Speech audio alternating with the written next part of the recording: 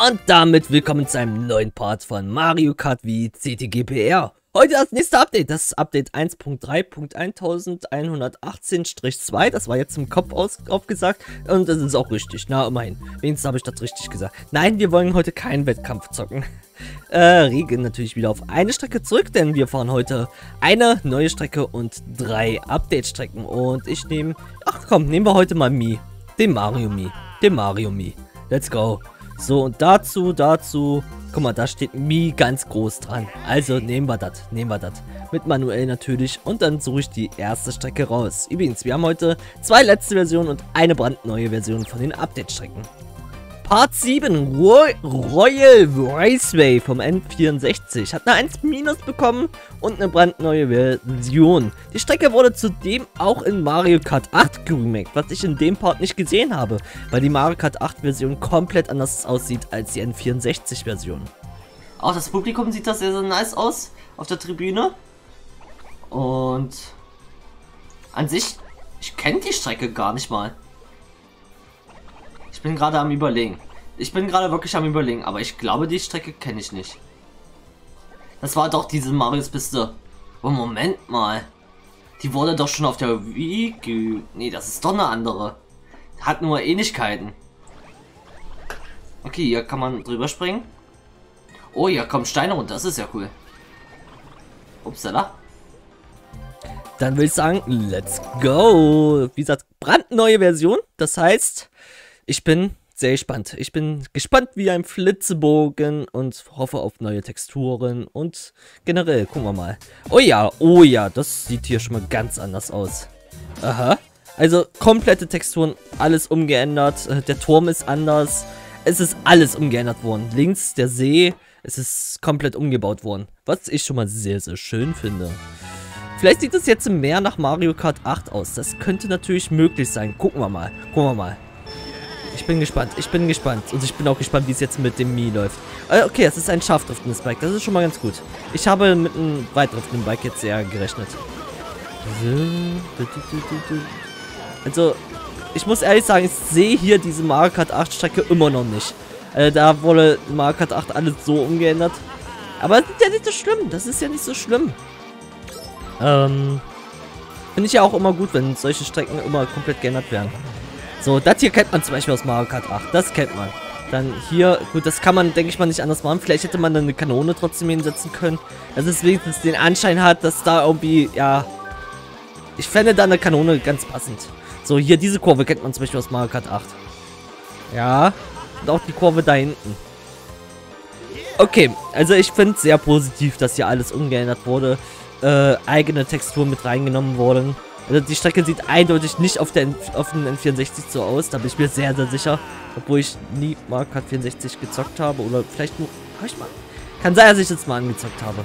Glaube ich fast ja. Aber weiß ich jetzt auch nicht ganz genau. Weil das hier rechts zum Beispiel, dieser Turm, das war so ein komischer Pilzturm im, äh, ja, in der vorherigen Version. Daher, wir sind schon in der zweiten Runde. Ich muss sagen, die Strecke hat eine 1 plus verdient. Weil halt einfach alles umgeändert wurde. Vorher war es eine 1 minus. Daher, das passt, das passt. Also ich muss auch sagen, dieses Bike lässt sich trotzdem nicht so gut steuern. Es ist zwar scharfdriftend, was ich gut finde, aber irgendwie, es ist sehr schwerfällig. Vielleicht, weil mein Mi ist halt auch ein schwerer Charakter. Äh, daher, ja. Hier zum Beispiel, hier komme ich irgendwie komplett raus. Äh, vielleicht sollte ich im nächsten Part mal wieder einen leichten Charakter fahren. Mal gucken, mal gucken fürs Weihnachtsupdate. Weil dann kann ich die Strecken noch mehr genießen. Genau, stimmt. Will ich auch nochmal ansprechen. Im nächsten Part gibt es das Weihnachtsupdate, beziehungsweise die nächsten zwei Parts dann. Nächste Woche Dienstag und Donnerstag, wenn alles klappt. Da freue ich mich sehr drauf, weil da gibt's... Also in den zwei Parts werden wir insgesamt fünf neue Strecken fahren und fünf Update-Strecken. Das heißt, ein Part werden wir verbringen mit zwei neuen Strecken und drei Update-Strecken und den anderen Part mit drei neuen Strecken und zwei Update-Strecken. Gucken wir mal. Gucken wir mal. Ich freue mich drauf und jetzt sind wir tatsächlich noch Zweiter geworden. Dank dem Stachy-Panzer. Danke, Stachy. Danke, danke, danke, danke. Naja, Schwamm drüber. Auf zur nächsten Strecke. Oh, wie ich gerade geguckt habe. Nee, nee, nee. Wolf Carteground sind wir erst vor wenigen Parts gefahren. Die hatte nämlich eine brandneue Version bekommen. Jetzt hat sie eine letzte Version bekommen. Und ja, dementsprechend fahren wir sie jetzt so schnell mal. Ursprünglich sind wir sie damals in Part 19 gefahren. Und ja, gut, das ist halt, ja, ja, ja, ja, ja, ja, ja, sind wir, wie gesagt, erst gefahren. Glaube ich, oder? Oder verwechsel... Nee, die, die Strecke verwechsel ich gerade! Nicht mal auf die Strecke gespannt, da läuft einfach ein Gumball herum. Oder kommt mir das nur so vor? So, hier gibt es einige Wolfsgemälde und hier eine Wolfsstatue. Der könnte die Strecke gemacht haben, so gesehen. Ah, das ist schade, dass hier so eine Säule ist. Okay, ist das hier? Da bin ich mal gespannt. Man kann einerseits hier rechts lang fahren, dann ist dieses Loch da gar kein Problem. Ja, die Strecke hat von mir eine 2 Plus bekommen und ich habe schon im Intro gesehen, es gibt keine Änderungen. Zumindest sehe ich keine Änderungen. Also von daher gibt es auch keine Einblendung. Ja, was, was war so ein bisschen problematisch? Äh, ja, es gab so ein paar merkwürdige Stellen. Läuft hier gerade alles so ein bisschen Zeitlupe? Kommt mir fast so vor, als wäre das gerade hier Zeitlupe. Oder lag das vielleicht daran, dass ich meinen Part, um zu sehen, welche, äh, welche, welche, welche, welche Note ich gegeben habe, dass ich da äh, auf zweifache Geschwindigkeit geguckt habe. Das kann natürlich auch sein. Okay, gut. Jetzt wollen wir mal hier mal ein bisschen abgehen. Aber, warte, hier, die Höhle ist neu. Die sieht neu aus. Draußen sieht alles gleich aus, aber hier sieht es neu aus. Vielleicht kann ich nebenbei hier äh, so ein paar Vergleiche einblenden. Ah. Das sieht schöner aus.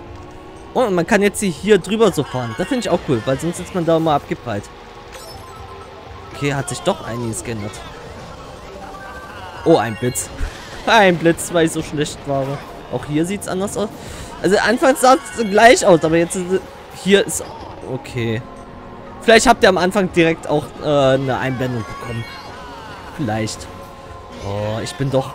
Ey, die, diese Runde fahre ich aber ganz schlecht. Aber ganz, ganz schlecht. Was ist denn da los? Los, beschleunige doch mal. Zackig. So, gib mir einen Kugeli. Ja, hier, hier sieht es auch jetzt... Es, die Strecke... Hier sieht es halt alles gleich aus. Darum dachte ich... Ja... Aber vielleicht gibt es hier auch irgendwelche Änderungen, die ich nicht geblickt habe. Oh. Ja, immerhin schon mal 10. Platz. Lass mich hier nicht. Oh, geht doch noch.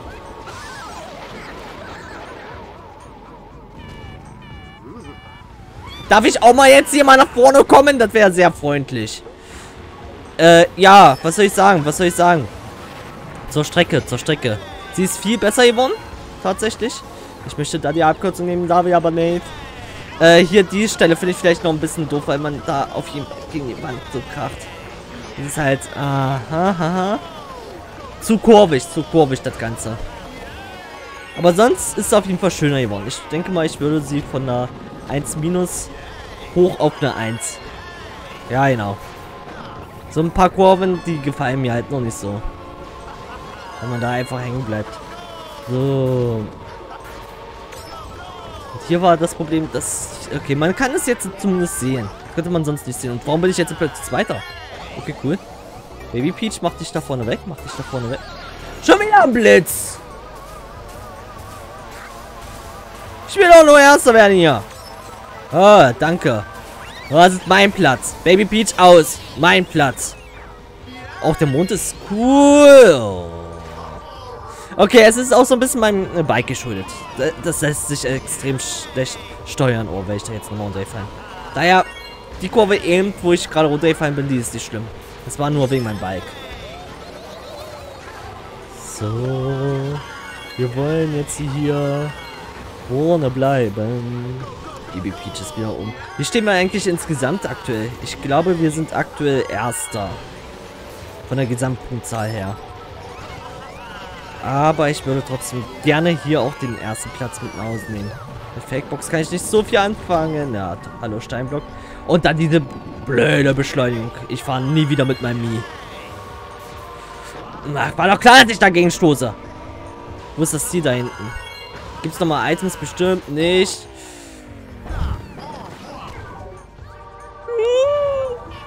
Das war's mit meinem ersten Platz. Auch mit der Gesamtpunktzahl erster Platz war's das. Oh, ich habe noch ein Item bekommen. Komm, Goldblitz. Baby Peach war da! Baby Peach ist irgendwie, ich weiß nicht warum, aber irgendwie scheint da eine Stelle zu sein, die die Computergegner nicht mögen. Ja, insgesamt noch erster, ein Glück. Dann doch noch. Nee, zweiter. Okay, okay. Naja, naja. Gut.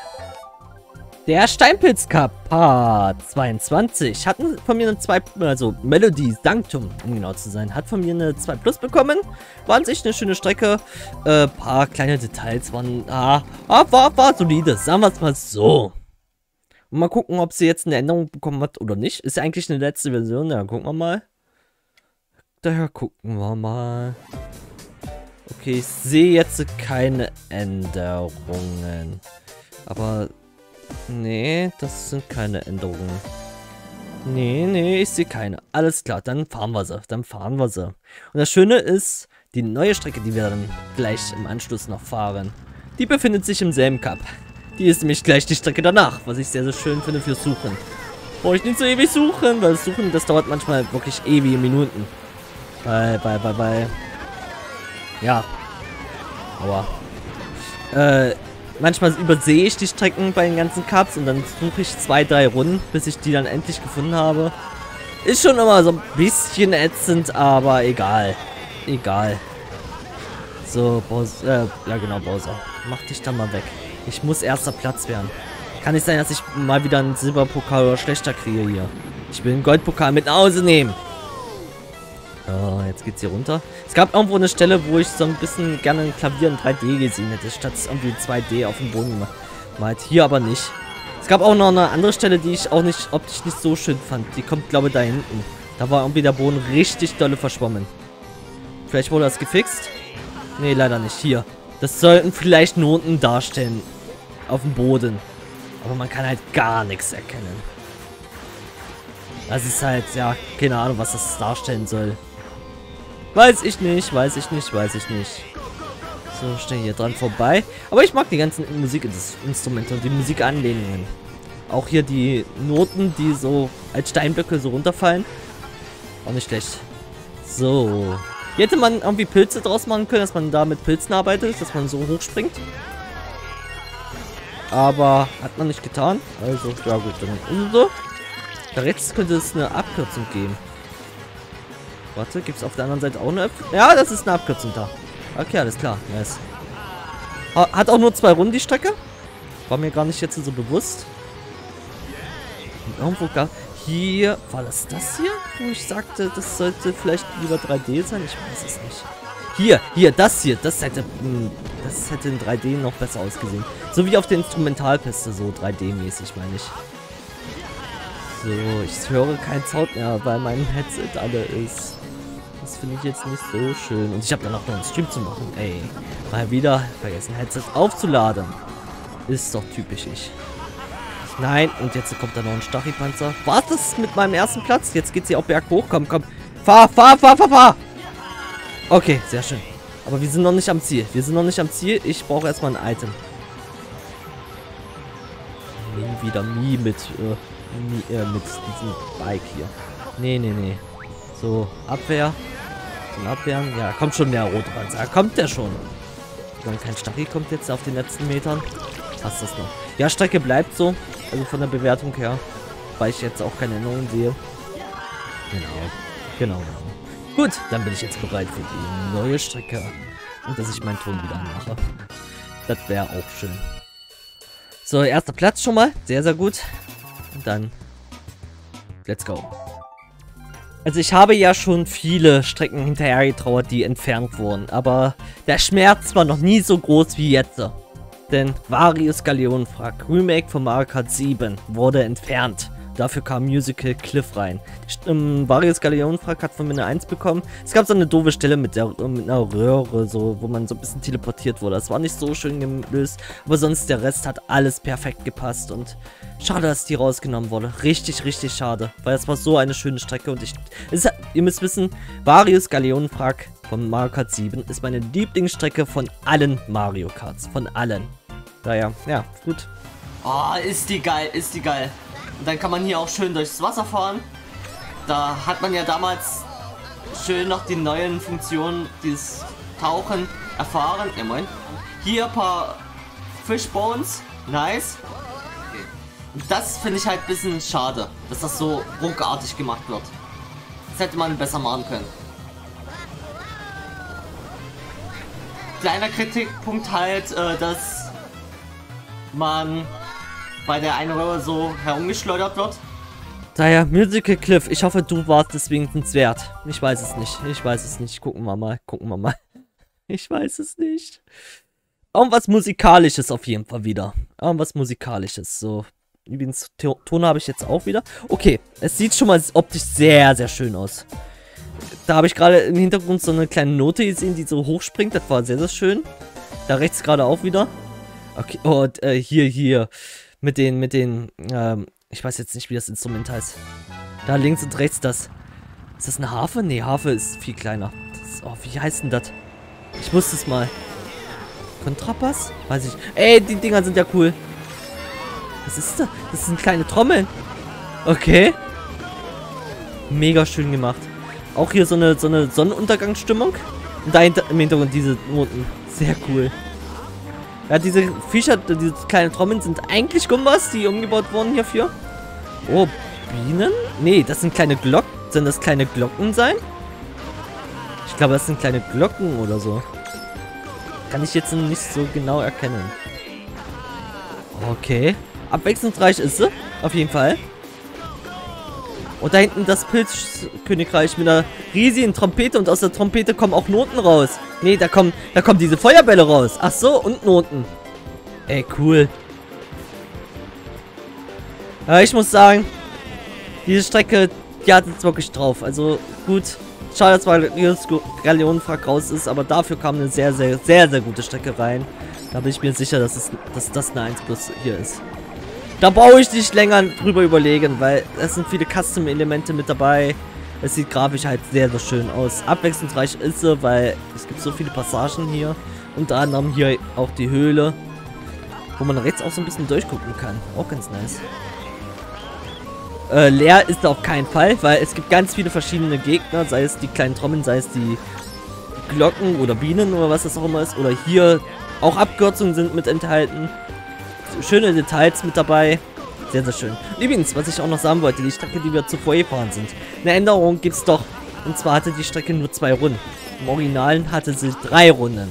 Also vor dem Update. Das ist wahrscheinlich das, was, warum die geupdatet wurde. Wollte ich noch sagen, genau. So, wie heißt denn das Instrument? Kontrabass. Ich denke andauernd an Kontrabass.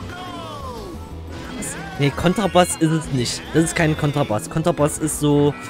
Ist so eine riesige, ich sag mal, Gitarre. Bassgitarre. So eine riesige. Das ist Kontrabass. Ah, oh, wie heißt denn das? Keine Ahnung. So, Mario ist da vorne. Ich glaube, wenn ich Zweiter bin, dann bin ich insgesamt immer noch Erster von der Gesamtbewertung. Aber ich will es nicht riskieren. Bedeutet, ich möchte noch Erster werden. Aber wiederum fahre ich gerade so schlecht, das gibt's gar nicht. Komm, komm. Ah, mit Panzer wird das nichts. Und wenn ich sowieso in jede Scheiße hier reinfahre, dann wird das jetzt recht nichts. Wo ist denn das Ziel da hinten? Oh no, nein, nein, nein, nein! Das ist mein Fehler. Ich kann jetzt nicht mal Mario Kart dafür äh, die, äh, die Schuld in die Schuhe schieben. Das war das war's mit meinem Goldpokal. Obwohl, ob, auch wenn ich jetzt hier ein gutes Item noch kriege. Blödsinn. Das war's mit meinem Goldpokal.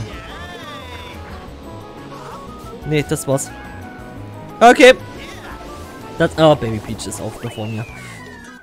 Oh, nie wieder Mi. Nie wieder Mi. Zweiter Platz. Mario war dann mein größter Gegner tatsächlich dann am Ende noch. Okay, na gut. Na gut. Dann ist es so. Es war trotzdem eine sehr schöne letzte Strecke. Und im nächsten Part kommt dann das Weihnachtsupdate, worauf ich mich richtig, richtig dolle freue. Ich hoffe, ihr auch. Lasst gerne eine Bewertung da. Und wir sehen uns. Bye, bye.